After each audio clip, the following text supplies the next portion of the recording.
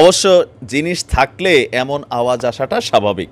পৃথিবীতে যাদেরই ক্ষমতা আছে, ব্যক্তি থেকে রাষ্ট্র, আপনি দেখেন সবাই কিন্তু সেই ক্ষমতার প্রয়োগ করে, তবে এত এত ক্ষমতা থাকার পরেও এখন পর্যন্ত শুধু মুখে মুখেই বলছেন, মারছেন না সরাসরি। এই দেশটার নাম হচ্ছে রাশিয়া, আর সেই দেশের প্রেসিডেন্ট হচ্ছেন ভ্লাদিমির পুতিন। দর্শক, খুব সম্ভবত সামনে এই মাসে অথবা আগামী মাসে কোনো একটা সম্মেলনে জার্মানি যাওয়ার সম্ভাবনা আছে প্রেসিডেন্ট পুতিনের অথবা দক্ষিণ আফ্রিকা। আর যেহেতু তিনি একটা মামলার আদালতের কি বলে যে অপরাধী মানে আইসিসির দায়ের করা যেই মামলা আন্তর্জাতিক যুদ্ধ অপরাধের জায়গা থেকে, তাকে গ্রেপ্তারের জন্য সমর্থন দিয়েছে জার্মানি এবং কি দক্ষিণ আফ্রিকা। এখন পুতিনকে গ্রেপ্তার করা হলে কি করা হবে? বিশেষ করে জার্মানির চ্যান্সেলর সহ জার্মানিকে যেই বক্তব্য দেওয়া হয়েছে যে মিসাইলটা ঠিক এরকম নাকি অ্যাঙ্গেলে রাখা হয়েছে। জাস্ট হচ্ছে আপনার একটা টিপ দিবে। এরপরে মনে করলেন যে আপনার এই মিসাইলটা গিয়ে কোথায় পড়বে? বুন্ডেজ স্ট্যাগ জার্মানির যেই চ্যান্সেলরের কার্যালয় আছে, সেইখানে গিয়ে ধাপাস করে একটা আক্রমণ করবে।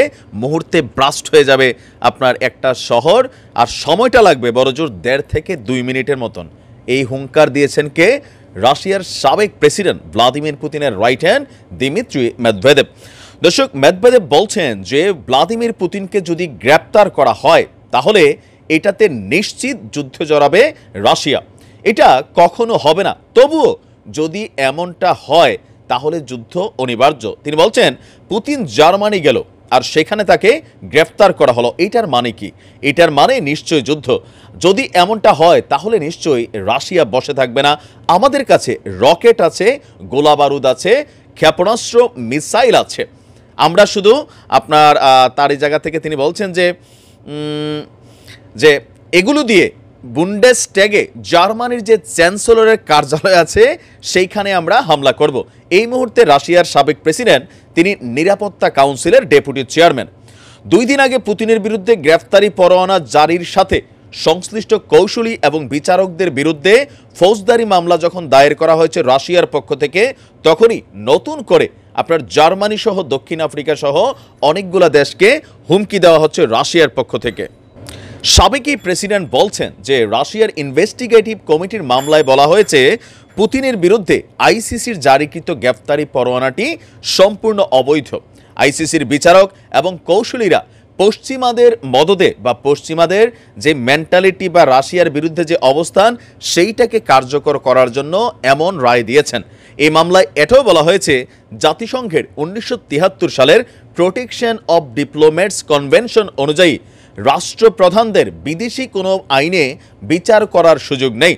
তাদের ওই অবস্থা থেকে দায় মুক্তি দেওয়ার বিষয় রয়েছে। পুতিনের বিরুদ্ধে আইসিসির এই গ্রেফতারি পরোয়ানার কোনো টিস্যু পেপারের সাথে তুলনা করেও তিনি বলছেন, কোনো ভিত্তি নেই। তিনি বলছেন যে, ভ্লাদিমির পুতিন তার যে রাষ্ট্রীয় সফর আছে বিভিন্ন দেশে, সেগুলোতে তিনি যাবেন। অনেকে আশঙ্কা করছেন যে আমি আমার আগের ভিডিওতে বলেছি, ব্রিক্স শহরে বিভিন্ন সম্মেলন আছে, সেখানে জার্মানি যাওয়ার বিষয় আছে, অথবা দক্ষিণ আফ্রিকা সহ। তো এই দেশগুলা যেহেতু আইসিসির সাথে কানেক্টেড আইসিসির একটা প্রধান শর্ত হচ্ছে, যেই সব দেশ আইসিসির এই সিদ্ধান্তকে বাস্তবায়ন করে, তারা সেখানে স্বীকৃতি দেয়, তারা তখন আইসিসি থেকে জারি হওয়া আইন বাধ্যবাধকতাভাবে পালন করতে হয়, যার কারণে দক্ষিণ আফ্রিকা যেমন চিপায় আছে, অপরদিকে জার্মানিও চিপায় আছে। তবে জার্মানি যাওয়ার কোনো কারণ এই মুহূর্তে আছে কি না আমার মাথায় নেই, তবে কাকু যদি আসলে যায়, জার্মান সরকারের কি সাহস আছে যে পুতিনকে গ্রেপ্তার করিয়া হ্যাঁ নেদারল্যান্ডসের হ্যাগেতে নিয়া বিচার করবে? আর যদি করে তাহলে এই যে বক্তব্য রাশিয়ার সাবেক প্রেসিডেন্ট দিচ্ছেন সেইখানে কি কোনো ভুল আছে? দেখা যাক পরিস্থিতি কোন দিকে যায়। ভালো থাকুন, আসসালামু আলাইকুম।